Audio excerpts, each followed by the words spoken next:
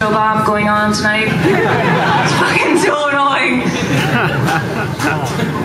just like, could you just stay? I don't know. That's what happens when you don't travel with a hairdresser. This is a song about sucking face with another person. Oh, what did I usually say? It's about brushing your teeth. It's about brushing your teeth with someone else's face. That's what it is, Just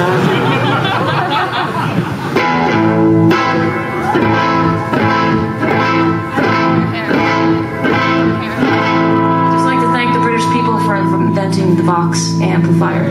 Thank you.